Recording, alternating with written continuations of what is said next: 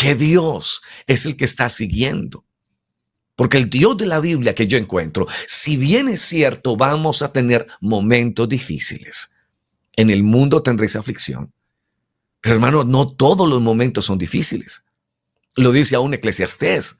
Hay tiempo de reír. ¿Dónde está su tiempo de reír? ¿Dónde está su tiempo de estar en paz, de estar en calma, de confiar en Dios, de soltarse en Dios?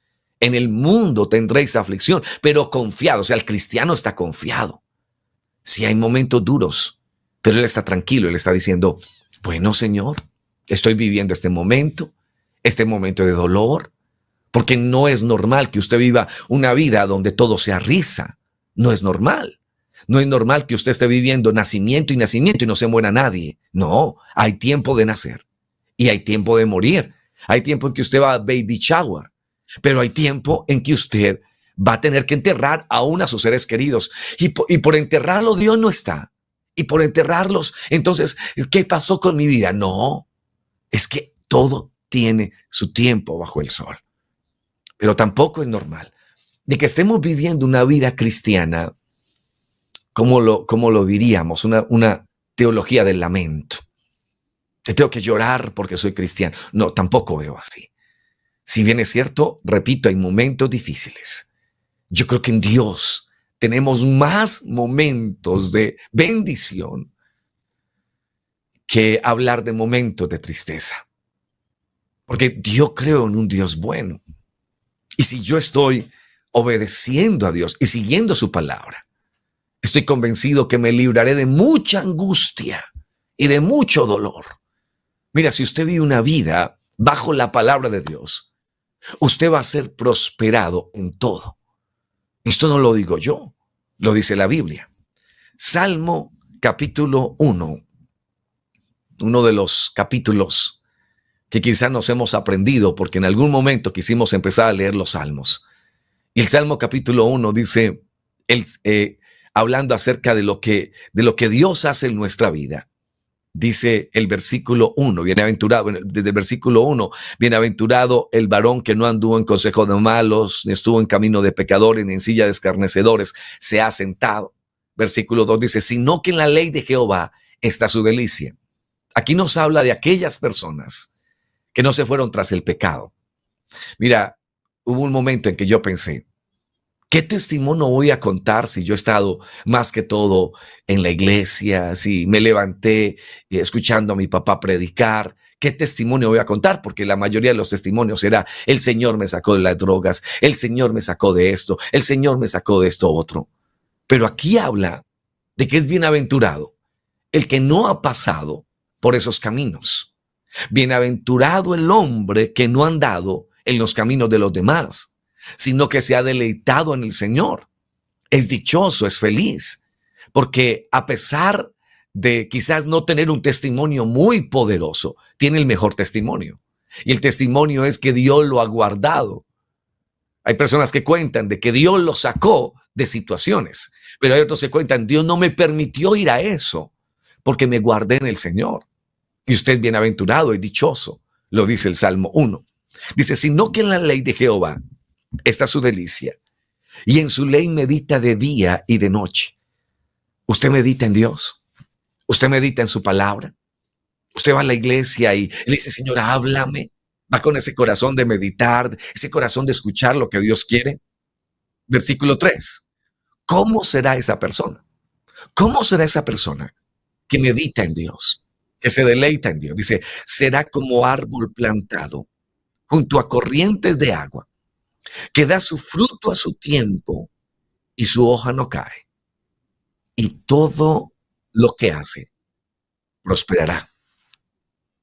Lo leo de nuevo. Y todo lo que hace prosperará. ¿Por qué la Biblia menciona eso? Porque cuando uno se acerca a Dios, cuando uno busca a Dios, hay unas buenas noticias. Tristemente nos encontramos con predicadores que están enseñando malas noticias. Envían a un pueblo que viene con sed de esperanza, de, fe, de confianza en Dios, y los envían a sus casas, hablando acerca del mundo, hablando acerca de otras cosas. y hablando más de la aflicción que el Dios que cura la aflicción. Hablan de la enfermedad y del problema del hombre, pero no hablan de la cura. Mira, hay una cura para tu pecado es el Evangelio. ¿Cuáles son las buenas nuevas de salvación? Que Cristo vio que no había ningún justo, que murió en una cruz del Calvario y que a través de nuestra fe en Él recibimos salvación, que resucitó al tercer día. O sea, ¿cuáles son las buenas noticias? Son esas buenas noticias, las buenas noticias del Evangelio, que Cristo murió por nosotros y que ahora al creer en Él, al recibirlo a Él, recibimos su paz. Mi paz os dejo, mi paz os doy. Yo no os la doy como el mundo la da. La paz de Dios es real, el gozo de Dios es real, los frutos del Espíritu Santo son reales. Y el cristiano debe vivir así. Sí, vamos a tener momentos difíciles, pero yo me atrevo a decir que si me pongo a contar los momentos difíciles, créanme, créanme, yo creo que los momentos difíciles han sido un 5%. El otro 95% ha sido tanta bendición. Y yo no sé, a veces estamos ciegos frente a las bendiciones de Dios.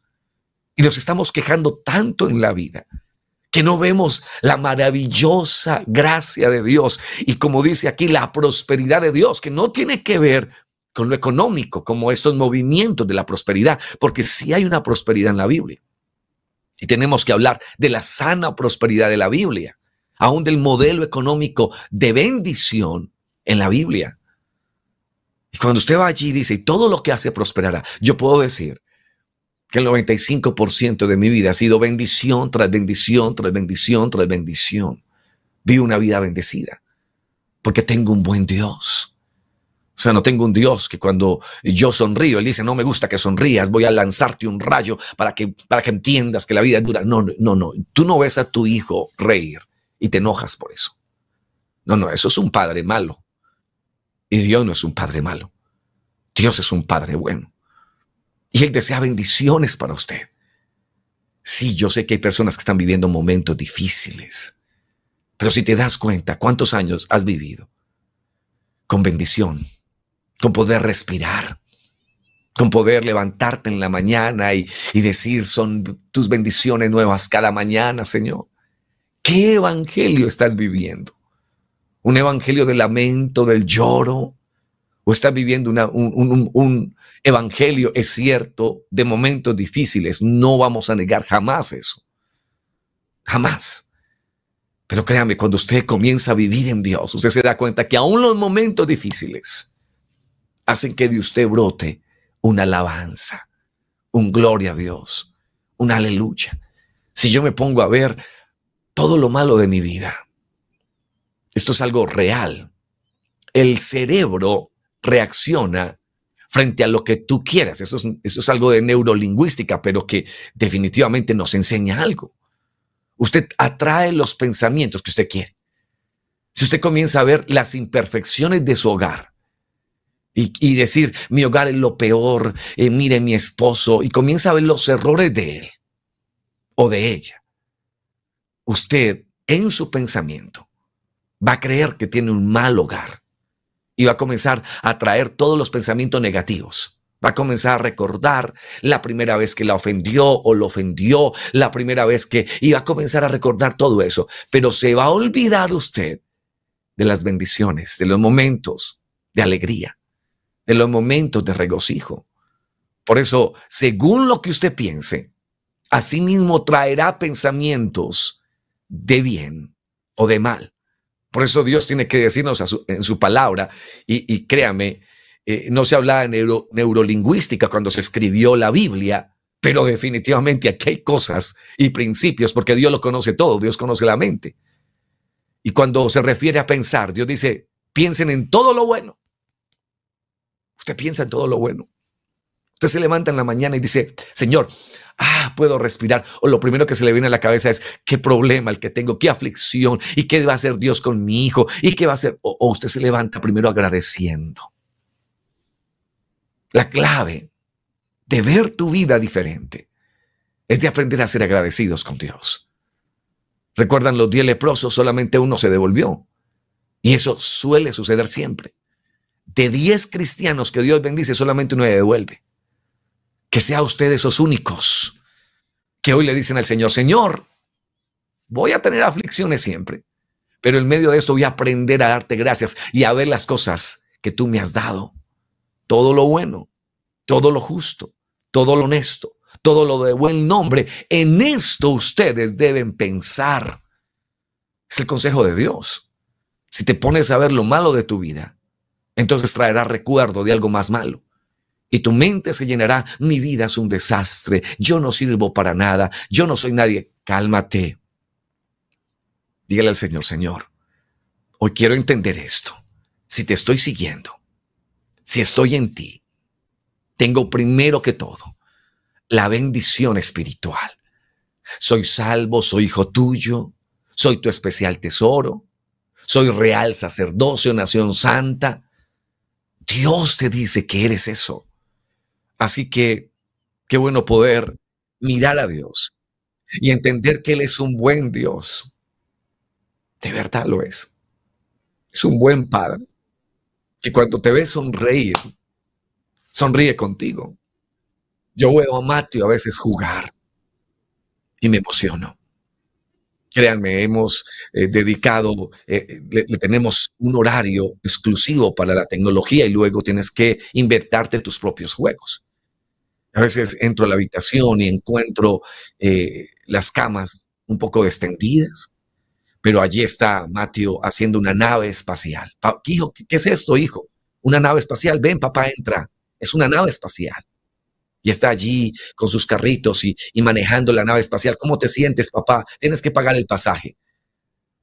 Y yo lo veo con esa inocencia. Y yo me gozo, me gozo, me, río, disfruto. Si así somos los padres de esta tierra, ¿cuánto más Dios? Mira, Dios no solamente se alegra por el hecho de que tú le digas, te amo, Señor. No, no, Dios, Dios se alegra con eso, como el primer mandamiento es amarlo a Dios sobre todas las cosas. Pero es el goza con todos los triunfos de tu vida. Por eso, nunca dejes a Dios al lado cuando estés en tus triunfos. Toma ese cartón que dice, eres técnico de tal lugar, o ingeniero, o, o abogado, o eres bachiller. Toma todos tus títulos y tíralos a los pies de Dios. Porque hay un Dios que se regocija, se goza. Si yo me gozo con mi hijo, cuando ha pasado a un nuevo año escolar, felicitamos a tu hijo, ¿cuánto más se goza Dios con aquellos que buscan su rostro, buscan su palabra, con aquellos que dice aquí, que se deleitan en él? En la ley de Jehová está su delicia, y en su ley medita de día y de noche, y será como árbol plantado junto a corrientes de agua, pero, este texto tiene un, final hermoso y todo lo que hace prosperará. ¿Tú crees en un Dios bueno? ¿Tú crees en un Dios que te está ayudando a que sigas adelante? ¿Tú crees en un Dios que prospera? Y cuando hablo de prosperidad, no me refiero a lo económico. Eso hace parte. Pero estoy hablando de, de toda la vida. Es que la prosperidad primero tiene que ser espiritual. O sea, no, no puede ser que nos acostumbremos a que un cristiano esté en depresión siempre. No. Creo que un cristiano puede pasar por momentos difíciles. Y yo no lo digo nunca depresión, digo un momento de bajonazo espiritual o de bajonazo en su, en su ánimo. Pero estoy seguro que Dios nos levanta, que Dios nos reconforta. Y he visto cómo Dios trabaja con personas con depresión y los he visto en la iglesia, cómo Dios los ha bendecido, cómo Dios los ha llenado de paz. No significa que no tengan luchas, las tienen. Pero en Dios tenemos que confiar que las buenas noticias son estas. Deuteronomios 8:18. Si no acuérdate de Jehová tu Dios. Pregunta, ¿usted tiene a Dios en cuenta en todo?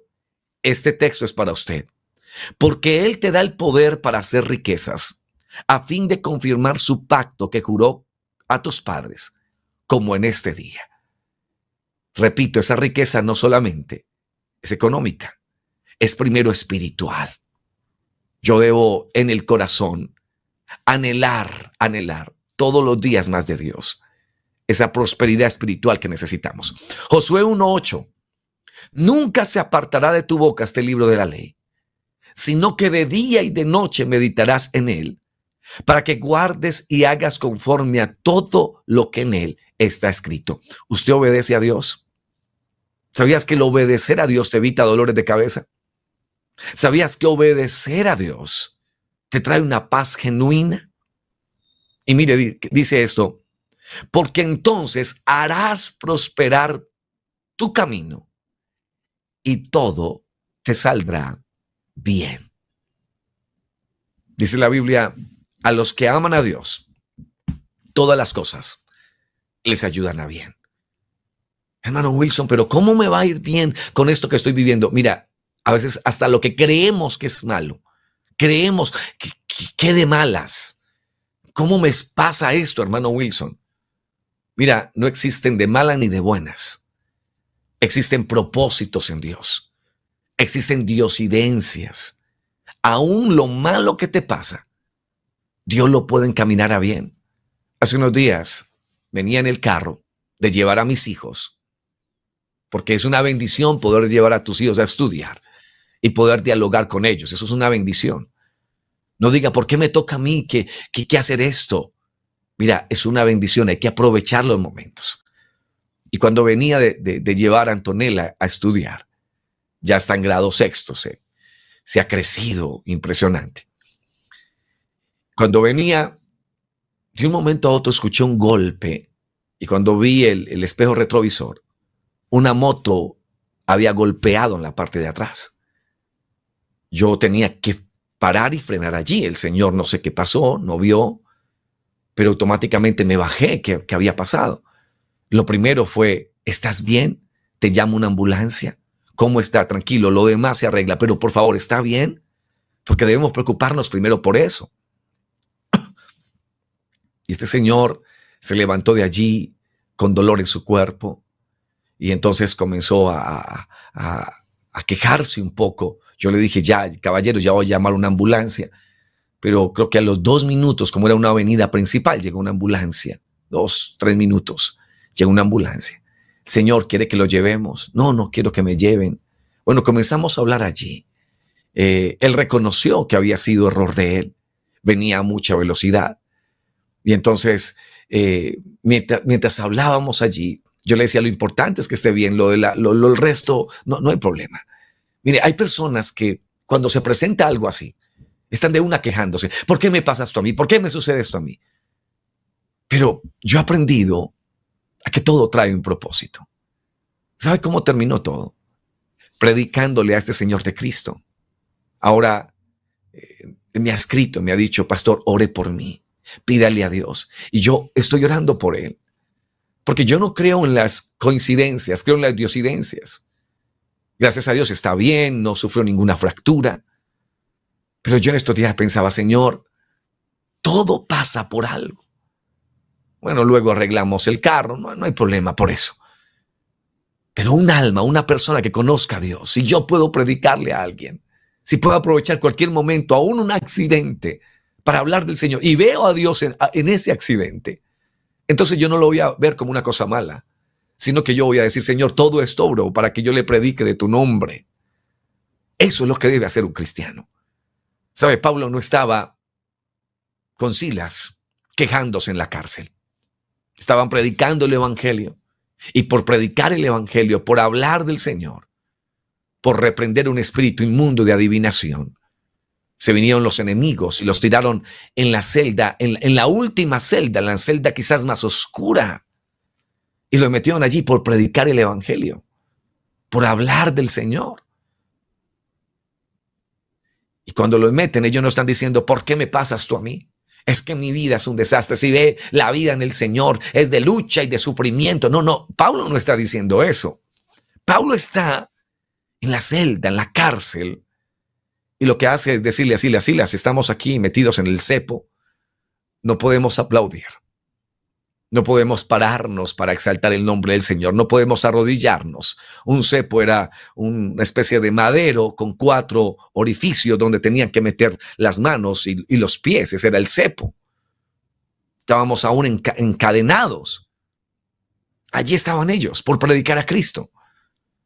De un momento a otro Pablo le dice, Silas, no podemos aplaudir, no podemos caminar, pero podemos hablar podemos cantar. ¿Qué tal si cantamos, Silas? empiece usted a cantar. Vamos a cantarle a Dios con alegría. ¿Quién canta con alegría en medio de la cárcel? Solamente aquellos que ven detrás de todo un propósito divino. Yo me imagino a Pablo decir, por algo estamos aquí, tranquilo, mijo. Vamos para adelante en el nombre del Señor. Y si las cantemos, ¿qué cantamos? Yo siento gozo en mí. Ok, empecemos a cantar. ¿Qué quieres cantar? El Señor es mi pastor. Eh, cantémoslo. Y dice la Biblia que empezaron a cantar y no suavecito, no, no, no hay entre dientes. Porque la Biblia dice que los presos los oían. ¿Tú has estado en una cárcel por causa de Cristo? ¿Has tenido cadenas en las manos? ¿Has estado en un cepo? ¿De qué nos quejamos? ¿De qué nos quejamos? Sabe que la queja es una de las cosas que uno más encuentra aún en los predicadores. Aún en los que hablan del evangelio, de las buenas noticias. He escuchado gente quejándose. Y podemos disfrazar de una eh, de un buen sermón una queja. Y entonces Pablo y Silas están allí y alaban a Dios. Y las cadenas se rompen. Y entonces eh, las prisiones se abren. Y hay un hombre allí que intenta quitarse la vida. Pero sabe algo, Dios tenía que salvar a ese carcelero. Yo creo que al final Pablo lo entendió y Sila lo entendió. Porque todo obra para bien a los que aman a Dios. Dios desea que tú seas bendecido. Y me refiero primeramente espiritualmente. Ahora, hay un evangelio malsano que se llama el evangelio de la prosperidad. Eso es, eso es una herejía. Habla que todo mundo tiene que tener prosperidad y si usted no es próspero económicamente, entonces usted no tiene a Dios y entonces usted está mal con Dios porque eso es una mentira. Filipenses 4:17 dice, no es que busque dádiva, sino que busco fruto que abunde en vuestra cuenta. Pero todo lo he recibido y tengo abundancia. ¿Cuál es la abundancia que habla Pablo aquí? Estoy lleno, habiendo recibido de Pafrodito lo que enviasteis, olor fragante, sacrificio acepto, agradable a Dios. Mi Dios pues suplirá todo lo que os falta conforme a sus riquezas en gloria en Cristo Jesús. Vamos a tener momentos de escasez, Pablo lo dice. Y aún hay hermanos que pueden tener riquezas. Pero manda a Dios a los ricos de que no se enamoren de las riquezas, porque usted puede tener dinero, pero si su Dios es el dinero, perdió todo. ¿Recuerdan el rico que se acercó a Jesús? Todo esto lo he guardado, maestro. Sí, ¿verdad? Entonces toma todo lo que tienes y véndelo y se fue triste. Dice la Biblia, así que teniendo sustento y abrigo, estemos contentos con esto. Porque los que quieren enriquecerse caen en tentación y lazo y en muchas codicias necias y dañosas que hunden a los hombres en destrucción y perdición. Si usted quiere ser rico, ya cometió el primer error. No está viviendo conforme a la palabra. Primera de Timoteo 6.8 estoy leyendo. ¿Usted quiere enriquecerse? ¿O usted quiere ser bendecido por Dios? ¿O usted quiere la prosperidad de Dios? ¿Cuál es la prosperidad de Dios? Espiritual. Dios te llena con su paz, con su gozo. Pero también hay principios bíblicos que te enseñan a ser próspero aún en las finanzas. Mira, Proverbios 6.9 dice, perezoso, ¿hasta cuándo has de dormir? ¿Cuándo te levantarás de tu sueño? Un poco de sueño, un poco de dormitar y cruzar por un poco las manos para reposo. Así vendrá tu necesidad como caminante y tu pobreza como hombre armado. Esto significa que hay personas que son pobres por perezosos. Proverbios 6.9.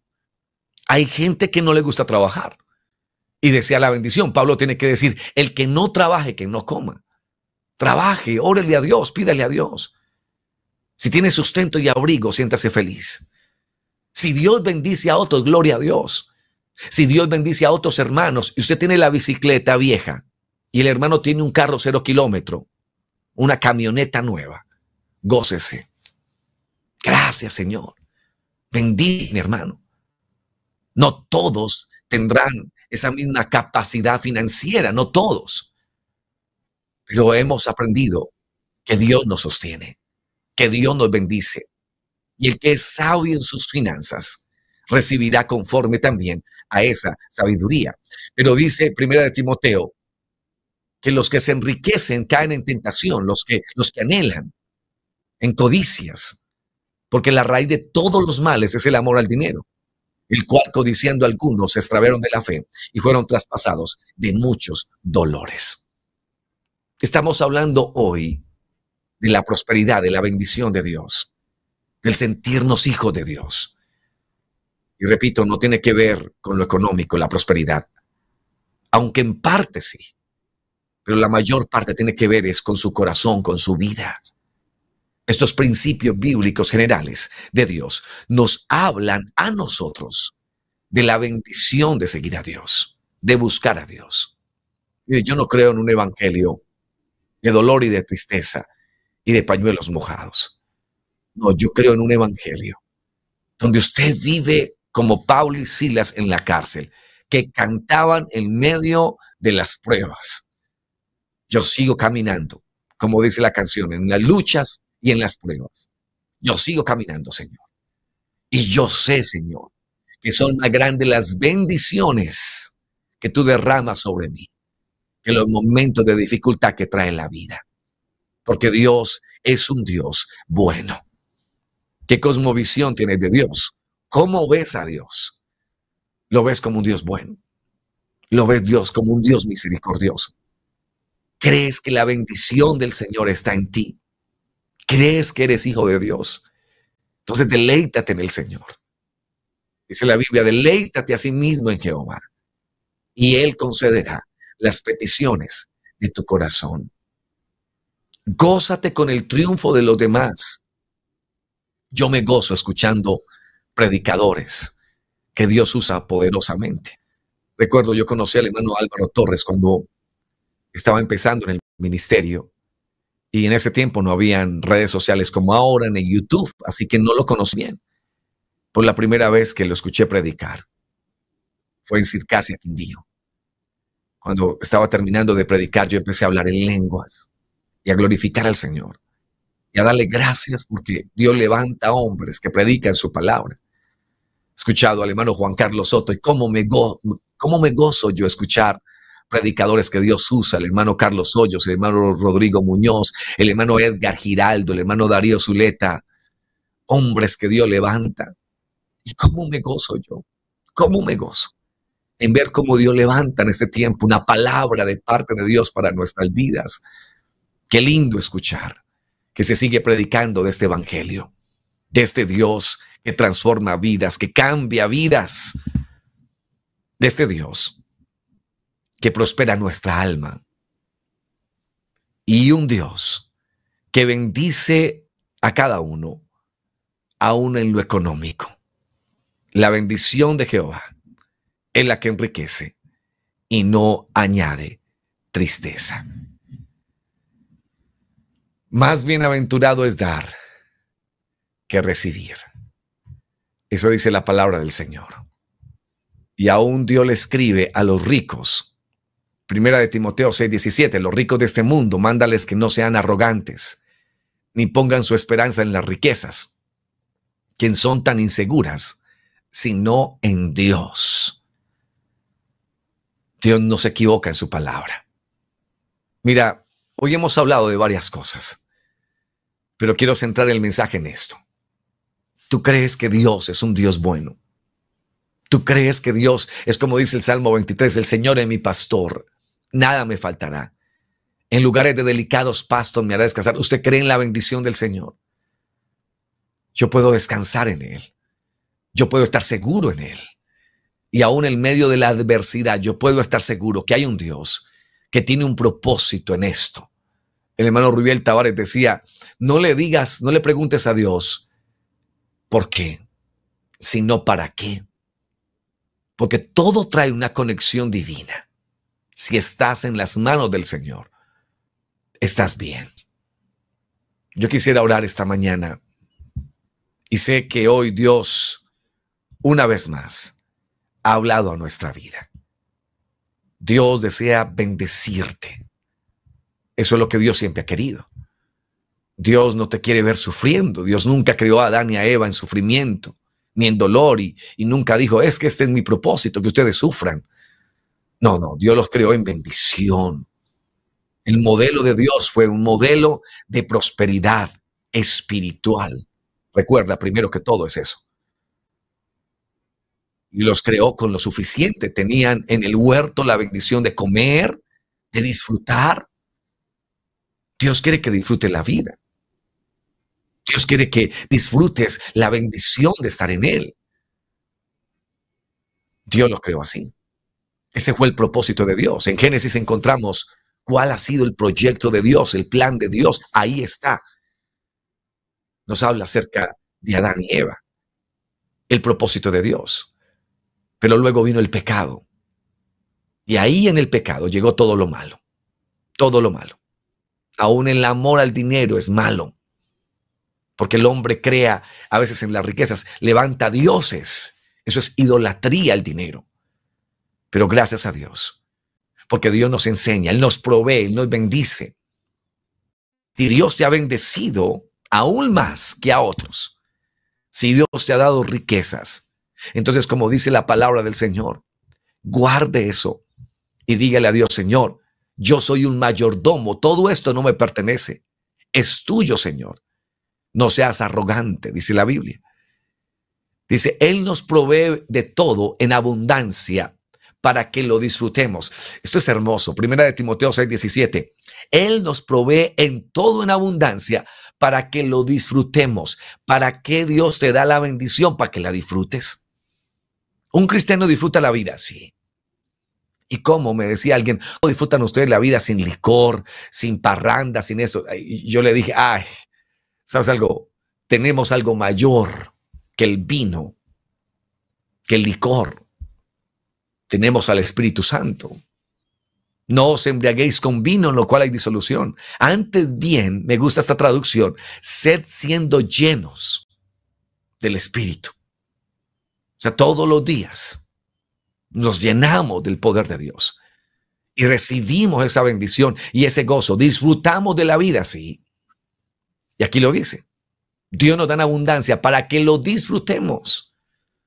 Hay gente que está atesorando, atesorando, atesorando. Tienen avaricia en sus corazones. Dios dice, no, es para que lo disfrutes.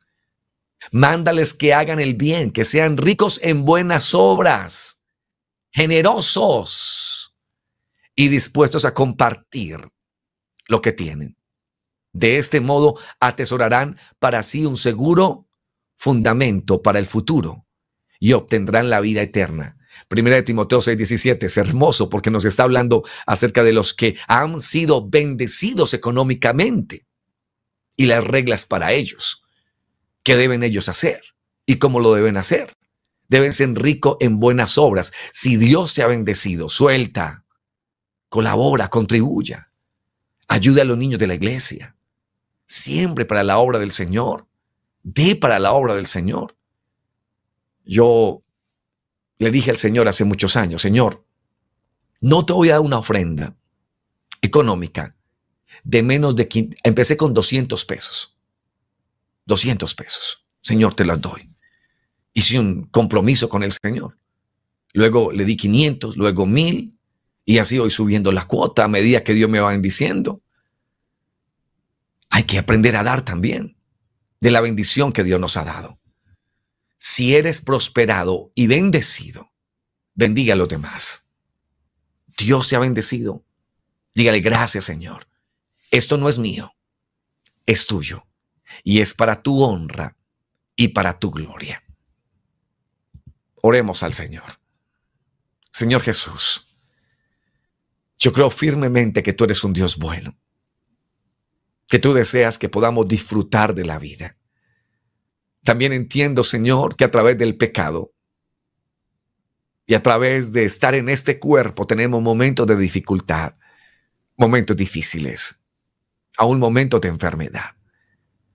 Pero son tan grandes tus bendiciones, Señor, que a veces no alcanzo a contar los momentos difíciles que he tenido. No los cuento porque me deleito más en ti, me deleito en lo que he recibido de ti, me deleito, Señor, en respirar todos los días, en ver las bendiciones que me rodean y no las circunstancias negativas.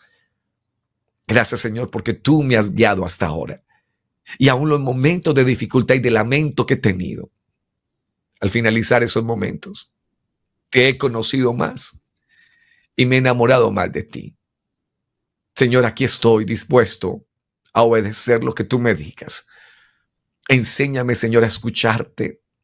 Enséñame a obedecerte, a que mi corazón corra a ti cada que me hable, Señor, a través de un niño, a través primero de tu palabra, Señor, a través de las personas, a través de mis líderes, mis directivos, mi supervisor, consistorio de ancianos, Señor. Ayúdame a escuchar todos los días el consejo y aprender de ti, Señor. Porque quiero prosperar en ti, Señor, todos los días, como dice tu palabra. Y todo lo que hace prosperará. Yo quiero prosperar en todo, Señor. Y colocar siempre mi corazón en ti.